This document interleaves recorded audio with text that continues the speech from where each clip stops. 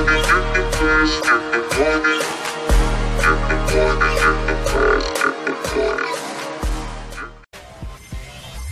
used to see you fuck the shade of the trees, from the lights and the leaves to the bites on your knees. Kill the universe, might get a sight of.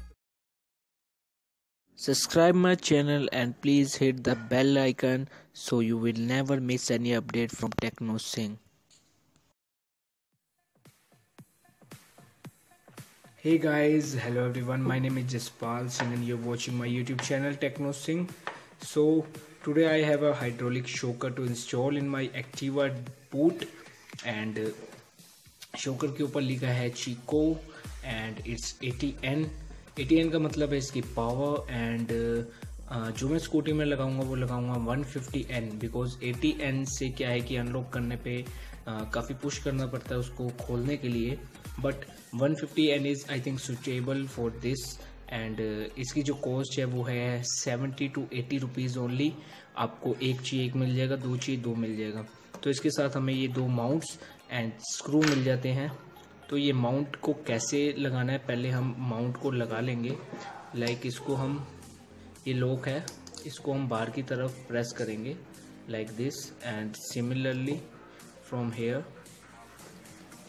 तो lock को हम बाहर भी खींच सकते हैं। वैसे इतने में इनफ है।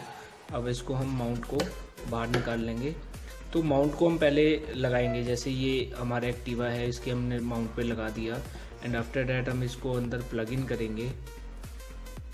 प्लग इन करने के बाद पीछे का लॉक को हम प्रेस कर देंगे। तो ये परफेक्टली लॉक हो जाएगा। सिमिलरली इधर का। इधर का ये माउंट है और दो स्क्रू वाला। दो की जगह आप चार लगाएँ, चाहे एक, दो, तीन, चार लगा दीजिए या दो लगा दीजिए वन और टू इधर आपके तीन स्क्रू लगेंगे, एक, दो, तीन। तो स्क्रू आपको इसके साथ मिलेंगे। तो चलिए एक्टिवा पे चलते हैं एंड आपको इंस्टॉल करके मैं दिखा देता हूँ। तो let's move so guys as you can see कि मैंने सेंटर में ना लगा के यहाँ पे लगाया है। इसकी वजह ये है कि सेंटर में अगर मैं लगाता हूँ यहाँ पर तो ये ऊपर जो है मेरे को स्पेस नहीं मिल पाता इसमें। ऊपर मुझे स्पेस नहीं मिल पा रहा शोकर छोटा हो जाता है।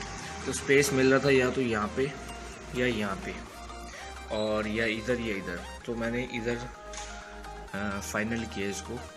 तो सिंपली मैं आपको बता दूँ मैंने स्क्रू कैसे कैसे so guys as you can see कि मैंने नीचे जो है तीन स्क्रू लगा लिए हैं। एंड स्क्रू लगाने के लिए आप नेल का या चाइनीज़ पेज का यूज़ कर सकते हैं तो उससे ईजिली लग जाएगा। एंड जो आपका स्क्रू ड्राइवर होगा, वो कोशिश करिएगा कि जैनमन हो बिकॉज़ जैनमन की जो ग्रिप होती है, वो काफ़ी अच्छी होती है। आपको चोट लगने के चांसेस कम है।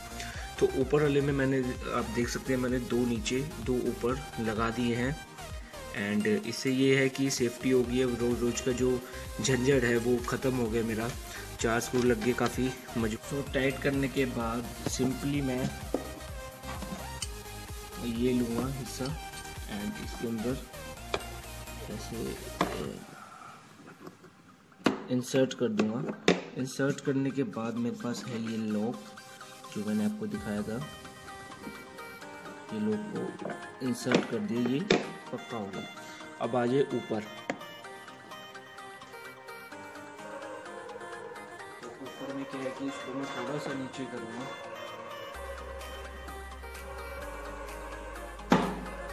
हो गया। एंड आफ्टर डेट ये मेरे पास लॉक है।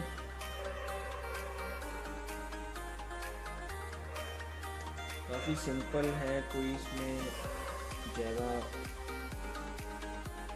कुछ करना नहीं है हमें। तो सिंपली आप देख सकते हो, शोकर लग चुका है। इतनी मेरी डिग्री ओपन हो गई। एज यू कैन सी इतनी डिग्गी मेरी ओपन हो गई।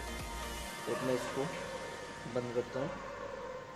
ये देखिए, अपने आप ये ओपन हो रही है। ये मैंने नीचे किया। एज यू कैन सी फिर मैं नीचे करता हूँ। अब मैं लॉक करता हूँ इसको। अब मैं चाबी से इसको ऑन करता हूँ।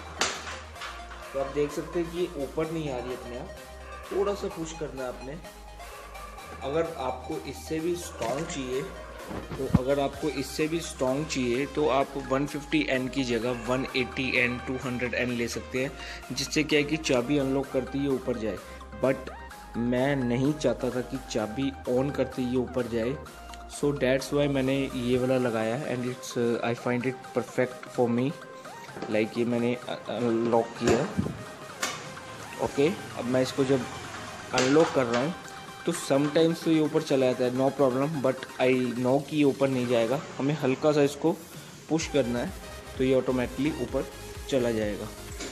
मैं आपको एक दो बार करके और दिखा देता हूँ। ये मैंने इसको लॉक किया, मैंने इसको अनलॉक किया, डिक्की उटकी जस्ट लिटल फिंगर अपने इसको पुश करना है एंड ये ऑटोमेटिकली ऑन हो जाएगा। आपकी मर्ज़ी, आप जितना हैवी चाहे उतना लगा सकते हैं, उससे क्या आप जैसी सीट हो।